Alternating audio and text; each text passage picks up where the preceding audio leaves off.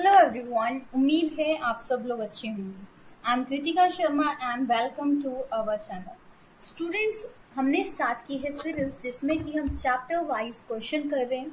Already हम इसके six lecture ले चुके हैं। आज मैं आपके सामने इसका सेवेंथ लेक्चर ले चुके आई हूँ जिसका कि नाम है स्ट्रक्चर ऑर्गेनाइजेशन इन एनिमल कि एनिमल्स में स्ट्रक्चर कैसे ऑर्गेनाइज वे में अरेंज है उसके बारे में हम डिस्कस करते हैं। सो so, अब हम क्लास स्टार्ट करने से पहले मैं आपको बताना चाहूँगी, हमारे पास एच पी टैट मेडिकल वालों के लिए बैच है। अगर किसी को भी लाइव क्लासेस रिकॉर्डिंग लेक्चर या किसी को सिर्फ़ नोट्स चाहिए, वो भी हमसे कांटेक्ट कर सकते हैं। लाइव क्लासेस मेडिकल वालों के लिए अवेलेबल है एंड रिकॉर्डिंग लेक्चर बाकी सारे सब्जेक्ट्स के लिए अवेलेबल हैं। चाहे आर्ट्स हो, चाहे नॉन मेडिकल हो, चाहे टीजीटी है, चाहे कोई भी एग्ज़ाम है, उनके लिए रिकॉर्डिंग लेक्चर सभी के लिए अवेलेबल है। एंड लाइव क्लास सिर्फ़ मेडिकल वालों के लिए अवेलेबल है। सो so, अगर किसी को नोट्स चाहिए कोई गाइडेंस चाहिए वो सारी चीज़ें हम प्रोवाइड कराएँगे। एंड uh, हम बात करें कि हम क्वेश्चन कर रहे हैं तो सिक्स हमने कर लिए हैं चैप्टर आज बात करते हैं आज हमारा सेवेंथ लेक्चर है जिसका कि नाम है स्ट्रक्चरल ऑर्गेनाइजेशन इन एनिमल देखो इससे पहले जो सेकेंड यूनिट था उसके दो चैप्टर थे। एक था मॉर्फोलॉजी ऑफ़ अ प्लांट मतलब बाहर का स्ट्रक्चर प्लांट का एंड दूसरा था एनाटॉमी मतलब इंटरनल स्ट्रक्चर सो अभी बात करते हैं अब जो ये सेवेंथ चैप्टर है ये एनिमल्स के बारे में। ध्यान से समझेगा देखो क्वेश्चन को हमने इस तरीके से फॉर्म किया है कि आपके मैक्सिमम से मैक्सिमम क्वेश्चन यहाँ पे कवर अप और अगर आप इस सीरीज़ को देखते हैं तो आपके काफ़ी ज़्यादा चीज़ें क्लियर होने वाली हैं और आपको ये काफ़ी फ़ायदा देने वाली है। सो so, अगर आपने अभी तक हमारे चैनल को सब्सक्राइब नहीं किया तो सब्सक्राइब कीजिएगा लाइक कीजिएगा एंड अगर आप इसको बेनिफिट लगता है तो अपने दोस्तों के साथ भी ज़रूर शेयर कीजिएगा क्योंकि आपके लाइक एंड शेयर हमें मोटिवेट करते हैं और बेटर काम करने के लिए। सो so, बात करते हैं आज बेटरमेंट काम की इस चैप्टर की। सो so, क्वेश्चन करते हैं अच्छे तरीके से।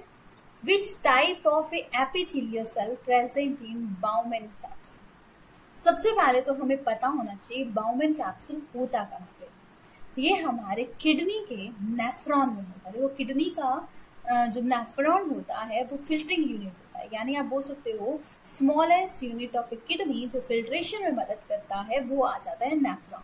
तो नेफ्रॉन में होते हैं सिंपल एपिथेलियल सेल कौन से होते हैं? सिंपल एपिथेलियल सेल जो कि हैनल लूप में भी होते हैं। ठीक है? अलग अलग जो एपिथेलियल सेल है, इनकी बात करें तो ये आउटर लेयर होती है, जो कि स्मूथ भी होती है तो अलग अलग बॉडी के अलग अलग पार्ट में अलग अलग टाइप की होती है। जैसे सिंपल एपिथेलियल की बात करें, ये हैनल लूप में होती है एंड हमारे एल्वेलाई जो होते हैं लंग में। याद रखिएगा एल्वेलाई क्या काम करते हैं? एल्वेलाई को मिनिएचर ऑफ़ द लंग बोला जाता है। क्योंकि मैक्सिमम एक्सचेंज केसेस यहाँ से होती है। तो बॉम्बेन कैप्सूल में तो सिंपल आता है। तो बॉयडल की बात करें, ये क्यूब टाइप बना हुआ ये रीएब्जॉर्प्शन इंक्रीज करने में मदद करता है फिल्ट्रेशन रेट इंक्रीज करता है। और गैमिट्स में ये होता है। किसमें होता है? गैमिट्स में ये पाया जाता है। कॉलोमनल टाइप की बात करें तो ये लॉन्ग होते हैं, जो कि फैलोपियन ट्यूब होती कहाँ पे? वुमेन्स में होती है। फैलोपियन ट्यूब में इंटरस्टाइन में इंटरस्टाइन तो दोनों में ही होता है मेल एंड फीमेल फिर हम बात करें, हमारे ट्रेकिया में होती है। ट्रेकिया, देखो, ये मेनली कॉलनर एप्लीकेशन वहाँ पे होती हैं, जहाँ पे इनको सरफेस एरिया इंक्रीज करना होता है, याद रखिएगा। फैलोपियन ट्यूब इंटेस्टाइन या रेस्पिरेटरी जो हमारा ट्रेकिया होता है वहाँ पे।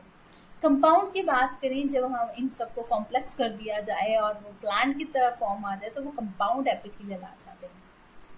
अब जब ये कम्प्लेक्स बन जाते हैं तो ये बना देते हैं ग्लांड ग्लैंड होता है ये स्पेसिफिक सिक्रीशन करते हैं, जो कि हम हॉर्मोन्स का नाम देते हैं। हम खुश हो रहे हैं, तब भी हार्मोन सिक्रीट हो रहा है। हम अगर परेशान हैं तो वो भी कारण हॉर्मोन्स का है। अगर हम कुछ भी फील कर रहे हैं तो सारा खेल हमारे हार्मोन से जो भी चीज़ें हैं हार्मोन तो हार्मोन भी अलग अलग टाइप के होते हैं। एक होता है एक्सोक्राइन एक होता है हिट्रो और एक होता है एंडोक्राइन। एक्सोक्राइन की बात करें तो ये होता है स्वीट एंड मैमरी ग्लैंड ये स्पेसिफिकली सिक्रीट करते हैं। यानी हमारा सेल्वरी ग्लैंड आ जाता है एक्सोटाइप एंडो की बात करें, ये स्पेसिफिक सिक्रीशन करते हैं पार्ट में, जैसे कि एड्रिनल ग्लैंड पिट्यूटरी ग्लैंड ये आ जाता है थायराइड इसके अंदर एग्जांपल आगे एक्सो ठीक है पैनक्रियाज की बात करें, ये एक्सो भी बिहेव करता है और एंडो भी बिहेव करता है। ग्लैंड होते हैं जो हार्मोन सिक्रीट करते हैं, यानी हमारे स्ट्रेस हो रहा है, खुश हो रहे हैं, दुखी हो रहे हैं, जितना भी ओवरऑल फ़ंक्शन होता है, ये हमारे ग्लैंड्स ही करते हैं, ये चीज़ याद रखिएगा। नेक्स्ट आ जाता है हमारा question smooth muscle fibre presenting muscle fibre अलग अलग टाइप देखो कुछ क्वेश्चन यहाँ पे हो सकता है ज़्यादा ज़्यादा एक्सप्लेनेशन हो और कुछ ही हो सकता है, थोड़ी कम भी हो। तो सबसे पहले बात करेंगे हमारी स्मूथ मसल फाइबर देखो वॉलेंट्री मसल जो तीन टाइप की मसल होती है।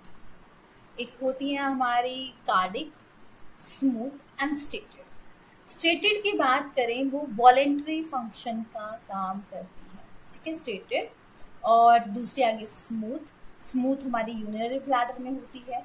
और अभी हमने बात की, एक स्टेटेड होगी, एक स्मूथ होगी, एक कार्डिक कार्डिक हर्ट में होती है राइट और वॉलेंट्री में वॉलेंट्री मतलब हम अपनी प्रेजेंस और माइंड से काम कर रहे हैं। लाइक मेरा मन कर रहा है तो मैं हाथ हिला रही हूँ, बोल रही हूँ तो यहाँ पे जो मसल काम कर रही है, वो स्टेटेड मसल है वॉलेंट्री मेरी कमांड के हिसाब से। बट हर्ट यूनरी ब्लैडर ये थोड़ी ना बोल रहे हैं हर्ट अब स्लो डाउन होता है। हर्ट अब फास्ट अपने आप ऑटोमेटिकली हो रहा है। तो ये कैसी है? ये है स्मूथ मसल एंड स्टार्ट में, साथ में इनवॉलेंट्री मसल हमारे कंट्रोल में नहीं है, इससे भी क्वेश्चन आ सकता है। कौन सी वॉलेंट्री है, कौन सी इनवॉलेंट्री है? कार्डिक कहाँ पे होती है? स्मूथ कहाँ पे होती है? हमारे कार्डिक सिर्फ़ हर्ट में होती है। बाकी सारे इंटरनल ऑर्गन में स्मूथ होती है। और सिर्फ़ मसल है, हाथ के हैं मसल्स में जो होती है, वो स्ट्रेटेड मसल यानी जहाँ पे हम प्रेजेंस ऑफ़ माइंड का यूज़ करते हैं, वहाँ पे वॉलेंट्री मसल आती है। नेक्स्ट बात करें हम डार्क बैंड देखो तो मसल है जैसे हमारी तो मसल का हम छोटा पोर्शन ले लें, जिसको हम सार्कोमर बोलते हैं, ठीक है? तो जैसे कि आपने ऑब्ज़र्व किया, जैसे हाथ है, ऐसे कर रही हूँ तो टूट थोड़ी ना आ रहा है तो ये पूरी स्ट्रेच हो रही है। जब ऐसे कर रही है तो भी नॉर्मल है, कोई इश्यू नहीं है। तो हमारी मसल में स्पेसिफिक प्रॉपर्टी होती है, जो कि ये स्ट्रेच करने के बाद भी ये टूटा नहीं। ऐसे किया, तब भी खराब नहीं हुआ हमारे मसल यहाँ पे एरिया में कोई फ़र्क नहीं पड़ा। तो जैसे कि मसल है डॉलिश वाले दिखाते हैं, कोई फ़र्क नहीं आता राइट तो स्मॉलेस्ट यूनिट मसल का आता है सार्कोमर राइट तो सार्कोमर जैसे मसल के हमने दो जोन बनाते हैं। दो बैंड एक ए बैंड एक आई बैंड ए बैंड के बीच में होता है एक जोन जिसको हम एच जोन बोलते हैं।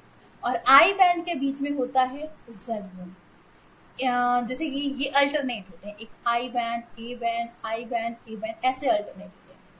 एक आई बैंड का हाफ़ जिसको हम लाइट बैंड बोलते हैं, और दूसरे आई बैंड का हाफ़ जो पोर्शन आता है, उसको हम सार्कोमर बोलते हैं।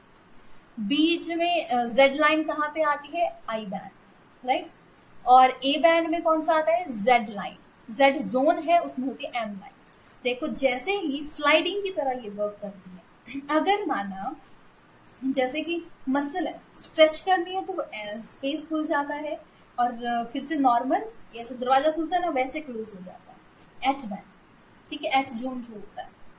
वहाँ पे क्या होती है? एम लाइन सो यहाँ पे स्पेसिफिक टाइप की प्रोटीन होती है. कौन सी?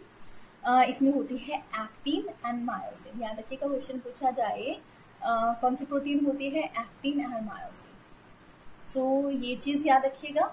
बाकी इसकी डिटेल हम जो इसका चैप्टर है लोकोमोशन एंड मूवमेंट वहाँ पे भी करने वाले हैं। So dark band A band यानी एनाइसोट्रॉपिक जिसमें कि जेड लाइन एच जोन होता है। हैंसन लाइन इसको बोलते हैं। लाइट बैंड को हम आई बैंड बोलते हैं एनाइसोट्रॉपिक जिसमें ज्यूटर किनेपर लाइन होती है मतलब सेड लाइन है। बाकी डिटेल हम जो चैप्टर है तो ये जो चैप्टर है, इसके कॉमन क्वेश्चन आगे जो चैप्टर आने वाले हैं, उनमें है। जो ह्यूमन फिजियोलॉजी जब हम करेंगे, वहाँ भी ये इंक्लूड होते हैं। तो इसलिए यहाँ पे हम नॉर्मल क्वेश्चन करेंगे। अब आता है connective tissue sheet cover a muscle fibre in a cell तो वो क्या चाहते हैं?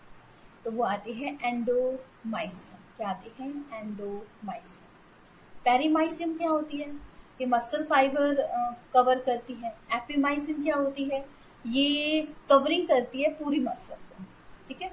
याद रखिएगा नेक्स्ट है which of the following connective tissue कौन सा कनेक्टिव टिश्यू है? कनेक्टिव टिश्यू का मतलब है कनेक्ट करना.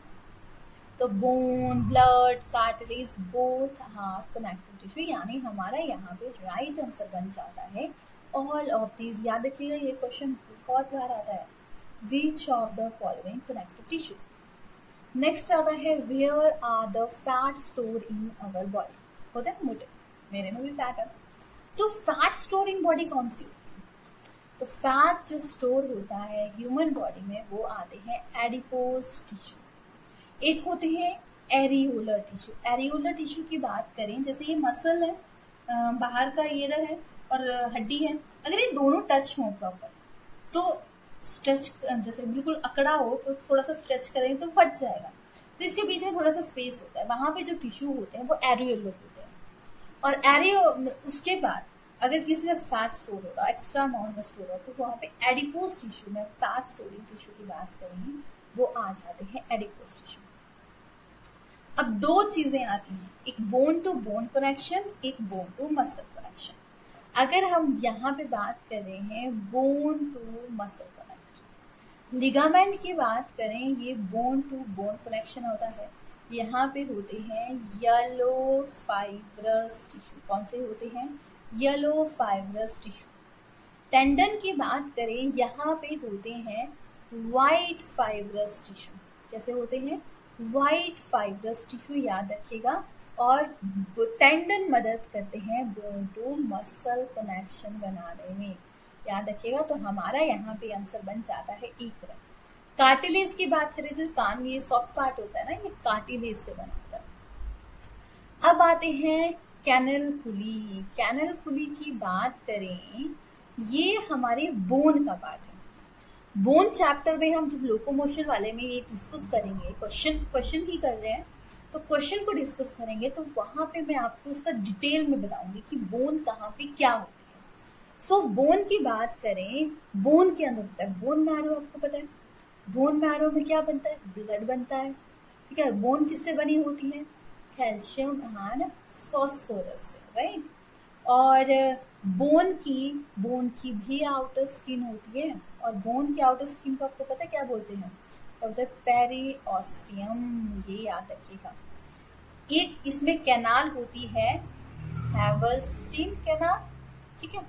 और हैवर्स्टीन कैनाल के बाद इंटरकोनेक्ट देखो ऐसे कनेक्ट होती है इंटरकोनेक्ट बनाने के लिए होती है वॉल्केमेन कैनाल ये क्या होती है? वॉल्केमेन कैनाल और उसके अंदर जो लुकाई होती है उसके अंदर स्पेस होता है मतलब इन दोनों मतलब जैसे कि कोलेक्स होता है, उसका मैट्रिक्स होता है, वहाँ पे होता है कैनल ठीक है ये हम पूरे पिक्चर के साथ में वहाँ पे बताएँगे आपको right which of a type of a cartilage is called a crystal so बात करेंगे क्रिस्टल मतलब सॉफ्ट कार्टिलेज तो हाईलाइन कार्टिलेज और क्रिस्टल मतलब शाइनी बोल सकते हैं। तो ग्लास लाइक होता है तो हाईलाइन कार्टिलेज की बात करेंगे हम। जो हाइड में होता है नेजल सैप्टम में होता है लेरिक्स में पाया जाता है। फाइब्रस की बात करें, इसमें लार्ज नंबर ऑफ़ फाइबर्स होते हैं। फाइब्रस याद रखिएगा, फाइब्रस है, यानी स्ट्रॉन्गनेस की बात। कैल्सिफाइड कार्टिलेज की बात करें, इन इलास्टिक होते हैं, याद रखिएगा। एंड ऑस्ट्रियोब्लास्ट की बात करें जो बोन का जो अंदर वाला हिस्सा होता है ना इनर टू पेरिस्टियम तो उसको हम ऑस्ट्रियोब्लास्ट बोलते हैं। अगर अंदर की स्ट्रेंथ कम हो जाए, ज़्यादा हो जाए, उसके बेसिस पे प्रॉपर्टी वेरी करती है, याद रखिएगा, अंदर की फंक्शनिंग अंदर की चीज़ें सारी वेरी करती हैं। अगर ऑस्ट्रियोब्लास्ट में अगर डेंसिटी कम होगी बोन की डेंसिटी बढ़ गई तो दोनों ही एक टाइप की प्रॉब्लम क्रिएट करती हैं, याद रखिएगा। ठीक है? नेक्स्ट है स्टडी ऑफ़ ए कार्टिलेज देखो क्वेश्चन बना रहे हो ना, बहुत सारे क्वेश्चन बन जाएँगे। बट ये है कि हम टॉपिक को कवर अप करें, कोशिश करें कि चीज़ों को जितना हम कंसाइज करके कम क्वेश्चन में आपको चीज़ों को करवाएँ, उतना मतलब तब भी ज़्यादा फ़ायदा होगा। तो वो चीज़ हमारा मकसद है राइट तो क्या आता है? स्टडी ऑफ़ ए कार्टिलीज क्या बोलेंगे? कॉन्डोलॉजी ठीक है? जिसमें कि कार्टिलेज का बनना कार्टिलेज कैसे फॉर्म हो रही है कार्टिलेज के बनने को ये भी याद रखिएगा। कॉर्ड्रोजेनेसिस क्या बोलेंगे? कॉर्ड्रोजेनेसिस फिर बात करें ऑस्ट्रियोलॉजी ऑस्ट्रियोलॉजी होता है स्टडी ऑफ़ बोन किसकी स्टडी बोन की स्टडी और बोन के बनने को क्या बोलते हैं? जेनेसिस वर्ड आ गया ना, यानी कुछ ना कुछ तो बन है। ऑस्ट्रियो मतलब बोन से रिलेटेड है, यानी बोन की फॉर्मेशन एसिफिकेशन भी इसको बोलते हैं। ऑस्ट्रियोमाइलिटिस की बात करें बोन इन्फ्लामेशन हो जाती है बोन मैरो में, यानी ये प्रॉब्लम है। ऑस्ट्रियोब्लास्ट ऑस्ट्रियोपोरोसिस पोर बनने लग जाते हैं, यानी लॉस हो जाता है कैल्शियम का। बोलते हैं ना वीकनेस आ गई। जैसे कि वुमेन में ये जल्दी देखा जाता है हड्डियाँ वीक होना, क्योंकि उन्होंने काफ़ी ज़्यादा मेंस्ट्रुअल फ्लो अगर प्रॉपर ना है मेंस्ट्रुअल साइकिल प्रॉपर नहीं है, उसकी वजह से ये प्रॉब्लम जल्दी हो जाती है। Next is graveyard of RBC graveyard मतलब देखो आरबीसी ना हमारे 120 डेज़ इससे ज़्यादा नहीं जीती है हमारे आरबीसी ठीक है? सो अगर हम आरबीसी की बात करें तो आरबीसी हमारी 120 डेज़ जीती इससे ज़्यादा नहीं जीती तो अभी हम ग्रेवयार्ड मतलब 120 डेज़ तक कहाँ जाते हैं? वो स्प्लिन में चले जाते हैं। तो ग्रेवयार्ड ऑफ़ ए आरबीसी बोलेंगे हम स्प्लिन को। Largest number of a W देखो ब्लड में, देखो ब्लड की बात करें तो ब्लड में एक ही चीज़ नहीं है। जैसे कि हम चीनी नमक का घोल बनाते हैं ना, वैसे ही ब्लड ब्लड घोल है, पानी है, ठीक है? उसके अंदर हमने चीनी डाली, नमक डाला, नींबू डाला, फिर नींबू पानी डाला। वैसे ही ब्लड की बात करें तो उसमें भी फ्लूड मीडियम होगा प्लाज्मा उसके अंदर आर बी सी है डब्ल्यू बी सी है प्लेटलेट्स हैं, उसको कम्बिनेशन को हम ब्लड बोलते हैं। उनमें से किसी एक चीज़ की कमी हो जाए, ज़्यादा हो जाए तो प्रॉब्लम होती है। सो हमारे पास डब्ल्यू बी सी को हमने दो पार्ट में है एक आता है ग्रैनुलोसाइट ठीक है नोट करिएगा। ग्रैनुलोसाइट अब आ, हम बात करें ग्रैनुलोसाइट ये तीन पार्ट में आता है। एक आता है न्यूरोफिल एक आता है बेसोफिल एक आता है एसिडोफिल। ठीक है? और अग्रेनुलोसाइट की बात करें ये आता है मोनोसाइट और एक आ गया लिम्फोसाइट। न्यूरोसाइट सबसे ज़्यादा प्रेजेंट है ये शोल्डर है। कि कोई भी प्रॉब्लम को अंदर आने नहीं देते। ठीक है? फिर आता है बेसोफिल, जो कि 0.5 टू 2 परसेंट है। ये कोगुलेशन में मदद करते हैं हैपरिन एंड हिस्टामिन सिक्रीट करते हैं। एसिडोफिल को हम यूसोफिल भी बोलते हैं, ये वाला वर्ड। और ये एलर्जी के लिए होता है। ये होता है टू टू फोर परसेंट फिर बात करें अग्रैनुलोसाइट की लिम्फोसाइट जो कि एंटी मतलब एंटीबॉडीज एक्ट करता है, कोई भी चीज़ आ जाएगी ना उससे लड़ने का काम जो कि सेकेंड नंबर पे thirty two thirty five percent होता है। मोनोसाइट की बात करें किडनी से पूरे स्कवेंजर अगर कोई आ ही गया देखो सोल्जर की तरह ये वर्क करता है, आने नहीं लगता आ ही गया तो पहले लड़ेंगे। लड़ने के बाद एलर्जी है, या कॉगुलेशन की प्रॉब्लम है, या कुछ भी प्रॉब्लम है, उनको सॉल्व करने वाले फिर ही आते हैं मोनोसाइट क्या करते हैं? तरह लड़ते हैं। बेसोफिल लड़ते हैं अगर आ, क्या मतलब एंटी कॉगुलेशन से रिलेटेड प्रॉब्लम हो।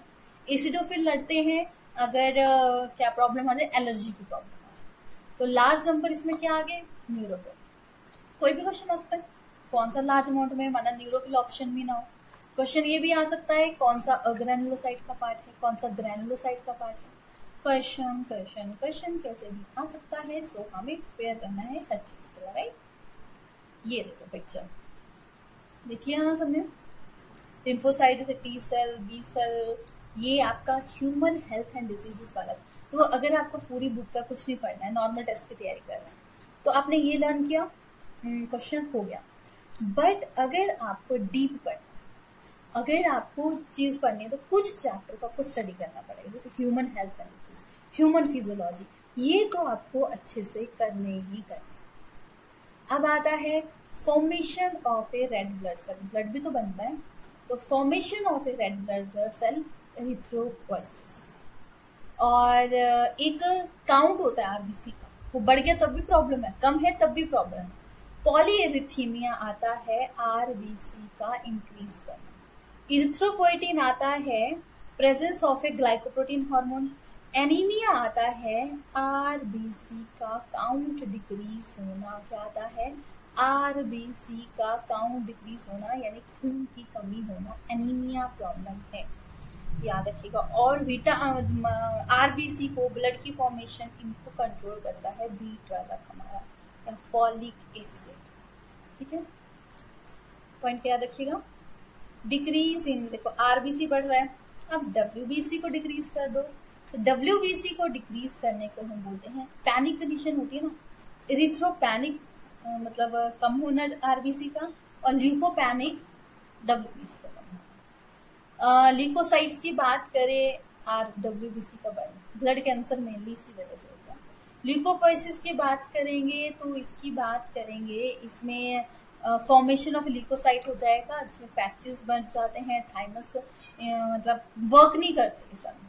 ल्यूकेमिया आ जाता है डब्ल्यू का बढ़ना ब्लड कैंसर हम बोलेंगे ब्लड कैंसर किसी वजह से होता है ल्यूकोसाइटोसिस की वजह से।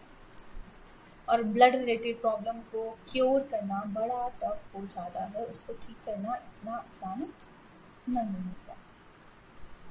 नेक्स्ट पॉइंट की बात करें which body and tissue are injured resulting in loss of a blood the process of a blood clot begin the blood platelets release इसमें क्या पूछा? बॉडी टिश्यू इंजर हो गया। ब्लड लॉस होता है तो उसमें क्लॉट बन जाता है। आ, मतलब थक थक्का सा बन जाता है वो किससे वजह से होता है? तो हम क्या बात करेंगे? प्रोथ्रोम्बिन एंड फाइब्रोनोजन मदद करते हैं ब्लड क्लॉटिंग के लिए। याद रखिएगा बाहर बनना इज़ गुड अंदर क्लॉट बनना इज़ नॉट गुड अंदर क्लॉट बनता है तो हैपरिन मदद करता है कि एंटी कोगुलेशन हो क्लॉट अंदर ना बने। और फाइब्रोजन की बात करें या हम प्रोथ्रोम्बिन की बात करें, ये मदद करते हैं क्लॉट बनाने में आउटसाइड द बॉडी देखो, कितनी चीज़ें हैं हमारी बॉडी में। अगर प्रॉपर फ़ंक्शन ना करें तो कितनी प्रॉब्लम क्रिएट कर सकता है। Unbelievable presence of a urea in a blood cell अगर क्या है सोचिएगा इस क्वेश्चन का आंसर अगर यूरिया हमारे ब्लड में प्रेजेंट होता है तो हम उसे किस नाम देखो यूरिया बाहर प्रेजेंट होता है तब भी प्रॉब्लम है। यूरिया अगर ब्लड में प्रेजेंट है तो क्योंकि यूरिया ब्लड में प्रेजेंट है इसका मतलब है आ, क्या बोल सकते हैं कि, हम्म, कि यूरिया ब्लड में है। तो हम उसको नाम दे सकते हैं कि उसमें फंक्शनिंग मतलब डाइजेशन अच्छे से नहीं हो रहा रीएब्जॉर्प्शन अच्छे से नहीं हो रही। तो वो भी प्रॉब्लम है। सो so, हम बात करें स्पेसिफिकली यूरिया जब ब्लड में होता है तो हम उसे किस नाम से जानते हैं? तो हम यूरेमिया नाम से abnormal high level of waste product in urea याद रखिएगा। और इसकी वजह से कंडीशन हो जाती है यूरिया मतलब ग्लूकोज का बढ़ना ग्लूकोज बढ़ता है तो आ जाता है मोर ग्लूकोज मतलब blood is called diabetic mellitus और बॉडी में टू मच यूरिन तो डायबिटिक इनपिक्वस याद रखिएगा। तीनों चीज़ों को पॉलिटिकस मतलब फील थर्स्टी जिसमें कि ज़्यादा प्यास लगती है। तो याद रखिएगा, अगर यूरिया ब्लड में यूरेनिया क्वेश्चन आएगा ग्लूकोज ग्लूकोज भी एक टाइप की शुगर तो डायबिटिक मेलिकस, दोनों चीज़ों को याद रखिएगा mellitus. Next is which of the following does not play in role in blood coagulation कौन सा इसमें से कॉगुलेशन में रोल प्ले नहीं करता? विटामिन के करता है फाइब्रोनोजन करता है कैल्शियम आयन ज़रूर करते हैं। विटामिन डी नहीं करता। विटामिन डी कैल्सिफेरोल है, ये बोन के लिए सबसे ज़्यादा इंपॉर्टेंट है राइट नेक्स्ट है Nissl granule are absent in Nissl granule किसमें अपसेंट होते हैं? देखो, ये सारे पॉइंट है हमारे न्यूरोलॉजी राइट तो बात करें न्यूरॉन की बात करें तो ऐसा स्ट्रक्चर होता है राइट ठीक है?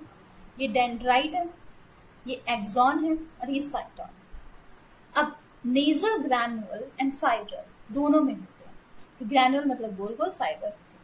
अब यहाँ पे साइटॉन में है तो डेंड्राइट में भी प्रेजेंट होते हैं। नेजल ग्रैनुअल आर अपसेंट पूछा है तो अपसेंट होते हैं। ग्रैनुल्स पूछा है तो एक्सॉन में वो अपसेंट होते हैं क्योंकि डेंट्राइट्स जो होते हैं यहाँ पे, ठीक है? यहाँ पे तो है ही है वो ठीक है?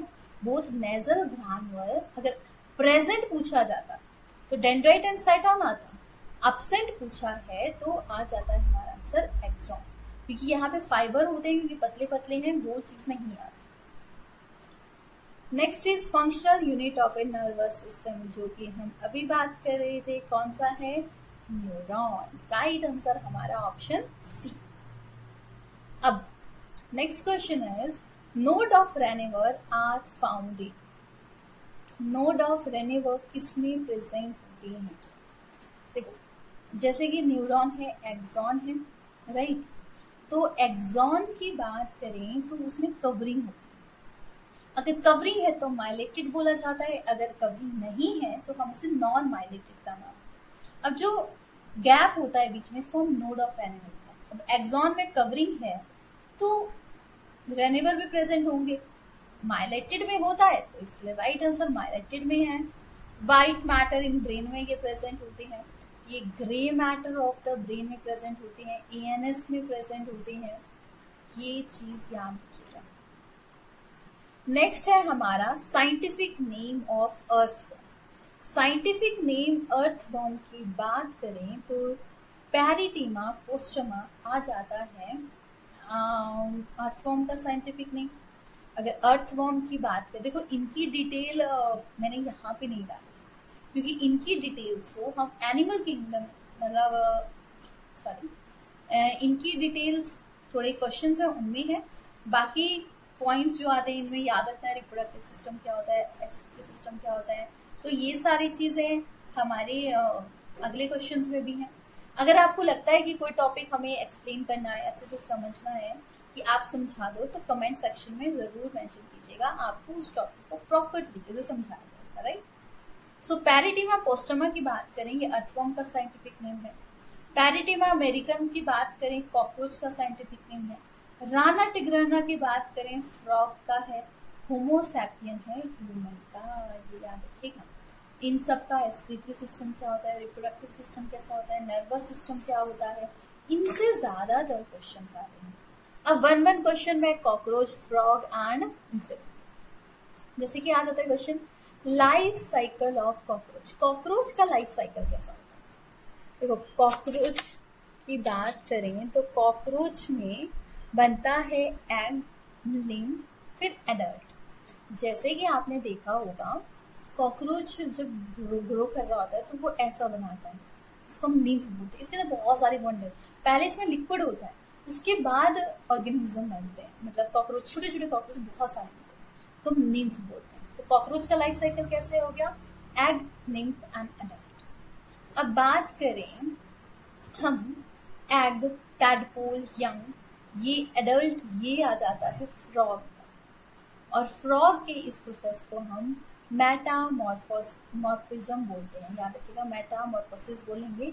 आयोडीन इसके लिए नेसेसरी होगा, अगर आयोडीन नहीं होगा तो ये फंक्शनिंग नहीं करेगा। ये चीज़ आपको नेक्स्ट है।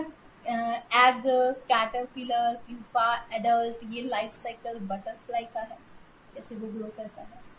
एग व्लिगर प्यूपा एडल्ट ये है मॉस्किटो कितने ही क्वेश्चन पता लगे। One two three four five six मैंने बोला था ना? कि ज़रूरी नहीं है कि एक ही क्वेश्चन कवर हो। कई कई बार हो सकता है कि और भी क्वेश्चन कवर हो।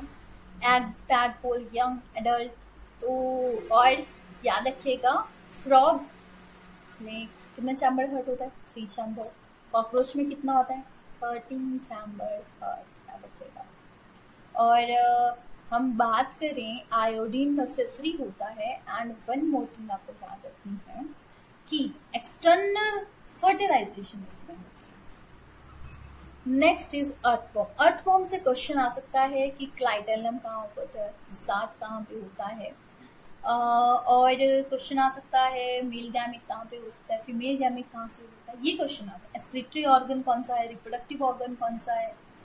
सो so, ये क्वेश्चन मैंने पहले भी करवाया। तो सबसे पहले क्लाइटेलम की बात करें। तो क्लाइटेलम होता है फोर्टीन फिफ्टीन सिक्सटीन राइट जिसमें कि मेल अपना रिलीज़ करता है फीमेल अपने गैमेट रिलीज़ करते हैं। और आ, मतलब एक क्योंकि अर्थवम ऐसी है जिसमें मेल एंड फीमेल दोनों होते हैं।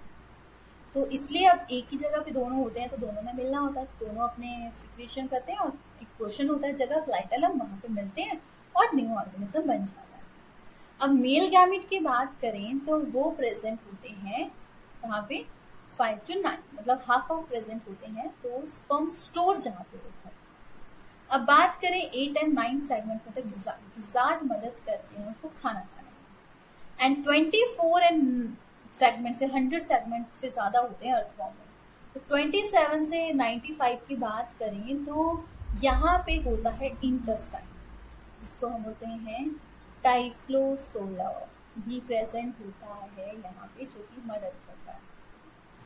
अब बात करें स्टमक की तो वो नाइन टू फोर्टीन सेगमेंट तक होता है। अगर फीमेल गोनोफोर की बात करें तो वो फोर्टीन सेगमेंट में होता है। मेल गोनोफोर की बात करें, वो एटीन में होता है। जेनिटल पैपिली की बात करें तो वो सेवनटीन टू नाइनटीन सेगमेंट में। यही क्वेश्चन मेन पूछ लेते हैं। वैसे तो चैप्टर बड़ा लेंथी है बट मेन क्वेश्चन स्पर्म का सेक्सुअल डायमॉर्फिज्म शो करता है, ऐसे ही क्वेश्चन बार बार आते हैं। Next last question next question is which structure absent in male cockroach male cockroach में कौन सा स्ट्रक्चर अपसेंट होता है? देखो लेबियम होता है पैलोमर होता है स्पर्मेथिका नहीं होता। अब पॉइंट इज़ कि स्पर्मेथिका क्यों नहीं होता? स्पर्म को फॉर्मेशन का रिलेटेड ही है। देखिए स्पर्मेथिका फीमेल में प्रेजेंट होता है जो कि मेल के स्पर्म को कैप्चर करने में मदद करता है। देखो यही तभी तो क्वेश्चन में डाला था कंफ्यूज करने के लिए, क्योंकि स्पर्मेथिका फीमेल में होता है नॉट इन मेल क्योंकि मेल फीमेल में इसलिए होता है क्योंकि मेल के गैमेट को एक्सेप्ट करने के लिए। अब हम इसके कॉकरोच के हर्ट की बात करें थर्टीन चैम्बर होता है एस्क्रीटरी ऑर्गन की बात करें मेल्फिजियम ट्रिब्यूल होता है and nymph male and female मिलके बना, मिल गैमेट और फीमेल गैमेट बाहर रिलीज़ करता है, वो जो निम्फ में निम्फ में ग्रो करता है। एंड बात करें एबडूमन की एबडूमन होता है इलेवेंथ सेगमेंट में एम्ब्रियो में एंड टेंथ में एडल्ट में प्रेजेंट होता है। अब स्क्लेरिड्स होते हैं।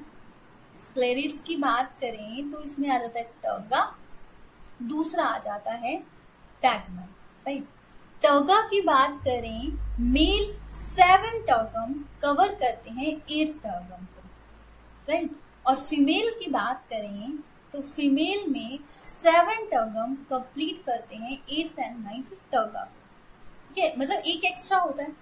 अगर बात करें तो स्टर्ना की बात करें तो स्टर्ना भी प्रेजेंट होते हैं, ठीक है? स्क्लेरिस एंड स्टर्ना ध्यान रखिएगा। सारे पॉइंट्स सो इन्हीं से क्वेश्चन आते हैं। और किसी को भी ये टॉपिक तो आपको मेन तब समझ आएगा जब आप इसको पूरे को आप देखोगे। मतलब इन द सेंस कि जब आप इसको पूरे कंसेप्ट को पढ़ोगे टर्गा क्या है स्टर्नम क्या है तो आई थिंक ज़्यादा क्लियर आपका होगा। क्वेश्चन मैंने करवा दिया कि इसके पॉइंट आते हैं, कुछ पॉइंट पाँच, दस पॉइंट आपको बता भी दिए। पर थोड़ा सा आप इसको डिटेल देख लीजिए, यानी आप इसकी पिक्चर भी देख लोगे, तब भी आपका क्लियर हो जाएगा राइट कुछ टॉपिक ऐसे होते हैं कि हमें देखने पड़ते हैं, पूरे कंसेप्ट को समझने ठीक है ये है अपसेंड मेल गैमेट की बात कर रहे हैं। और बात करूँ अगर किसी को भी कोई टॉपिक ऐसा लगता है कि हमें ये टॉपिक समझा दीजिए आपको तो कमेंट सेक्शन में मैसेज कीजिएगा आपको ज़रूर उस टॉपिक को समझा दिया जाएगा। सो so, अभी आप देख सकते हैं टॉपिक के बारे में। एंड uh, किसी को भी कोई डाउट होगा पूछ लीजिएगा। एंड हमारी वीडियो आपको अच्छी लगती हो तो लाइक ज़रूर कीजिएगा। एंड कोई आपके कोई भी डाउट होते हैं वो ज़रूर बता दीजिए, बता दीजिएगा, ताकि हम आपके डाउट्स को क्लियर कर सकें। And one more thing end में हमने टैट का रिगार्डिंग बैच स्टार्ट किया है। किसी को भी कोई भी क्वेरी हो, कोई भी इशू आ रहा हो, क्या करना चाहिए, क्या नहीं करना चाहिए, आप पूछ सकते हैं। टैट हो या कोई भी एग्ज़ाम हो, जिसमें कि बायोलॉजी केमिस्ट्री कुछ भी आता है तो आप हमसे गाइडेंस ले सकते हैं। साइकोलॉजी आती है, हम आपको ज़रूर गाइड करेंगे। सभी एग्ज़ाम्स के लिए राइट थैंक यू कि आपने हमारी पूरी वीडियो को देखा चीज़ों को समझा अंडरस्टैंड किया। एंड uh, समझिएगा ध्यान से एंड चीज़ों को वन मोर थिंग कि आप चीज़ों को जैसे भी आप पढ़ रहे हो साथ साथ रिवाइज करो। जैसे पंद्रह बीस मिनट क्लास लगाई रिवाइज कर लिया तो उससे ना अंडरस्टैंडिंग ज़्यादा होती है और हमारी मेमोरी भी शार्प होती है। इट्स तो ये था आज क्लास के बारे में। बाकी मिलते हैं नेक्स्ट क्लास में। तब तक अपना ख्याल रखें